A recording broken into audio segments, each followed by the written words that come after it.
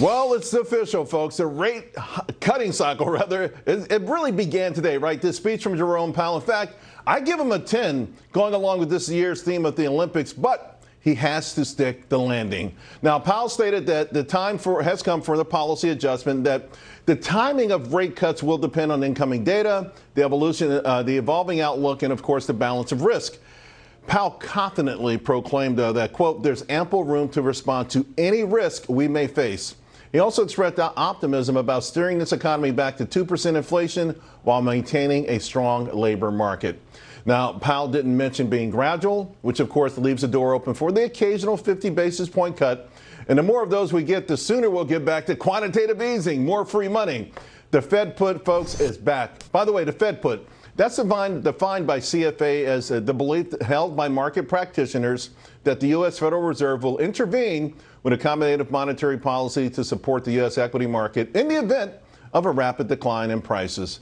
The Fed, uh, of course, carefully navigating between a balancing right between normalization and deterioration. Because listen, we all know the economy is slowing, but to what degree, right? And, and I, I, believe we're growing faster than a lot of folks do. Now, I'm not sure. Uh, I'm not so sure why others aren't worried. I am with respect to Main Street, but I do say, as an investor, I understand. Hey, let the good times roll. With that, let's bring in Bianco President, uh, Bianco Research President Jim Bianco. All right, Jim, just your assessment of the speech itself. It was a confirmation that the Fed is going to pivot and start cutting in September. The market had been pricing that in now for several weeks. And you could see in the marketplace that there wasn't much movement on the probability of a September rate cut because it was already in. And if you look at the broader markets, Stocks are up today, bonds are up today, almost exactly the same amount that they were down yesterday on a fear he was going to be hawkish. So we basically undid yesterday in terms of where the markets are moving. So he, you know, we were thinking he was going to pivot, and he basically said that that's exactly what they're going to do. Did it feel like a victory lap to you? He sort of felt like a victory lap, although he did acknowledge to some nervous laughter, you know, that the transitory was right. wrong three years right. ago. And, you know, uh, two years ago, they said that there would be pain, and there was really never any pain in order to get rid of the inflation number. But I think your comment made it uh, the best. You know, here I go on the dismount. Now, are you going to stick the landing? Are you going to be able to cut rates and not see my fear as a no lander, as somebody who thinks the economy is doing okay, is that if you're going to start cutting rates aggressively, are you going to stimulate it back into an inflation problem again? And are we going to be talking about inflation in 2025? Right. That's the sticking of the landing. And we'll have to see what happens going forward. You know, on that point, uh, Jim, back in April, 36% of global fund managers were in your camp, the, the no landing camp. They're down to 8%. Um, uh, is just is everyone too comfortable with the notion that it's a you know that the mission accomplished?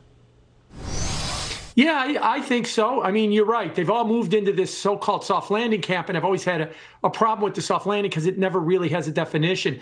I mean, President Biden keeps yelling that we're having a soft landing, and he thinks it means just falling inflation. And what Wall Street has a completely different definition of right. it.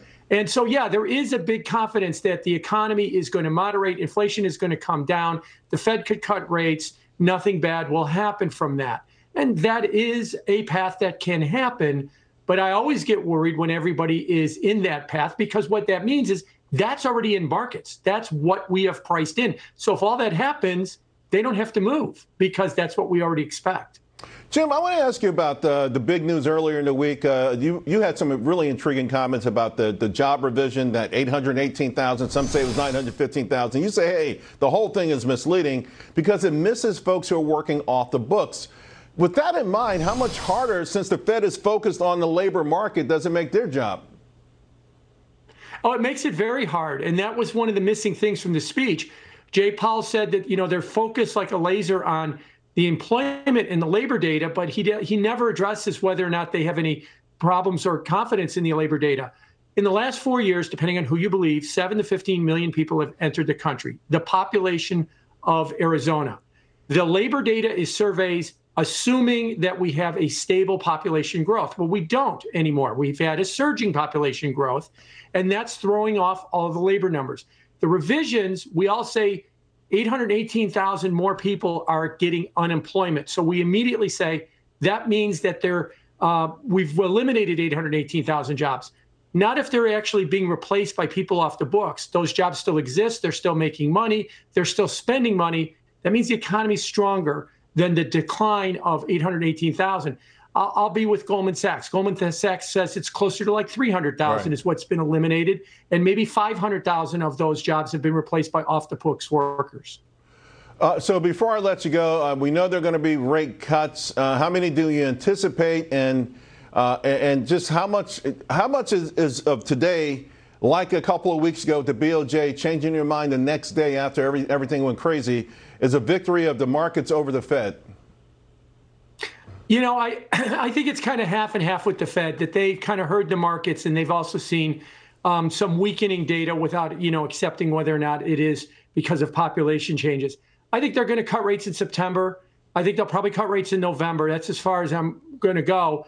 But I think what Powell told us today is that payroll report two two weeks from today is as important as the CPI. It will determine whether or not we see 25 or 50 in September to get right. the ball rolling. If it's weak, we'll get 50. If it's not weak, we'll get 25. Sort of ironic, right? A payroll report that's obviously going to be revised a few times. hey, Jim. exactly. Have, have, a great weekend, my friend. Always appreciate our conversations. All right, folks. Thank you. You too.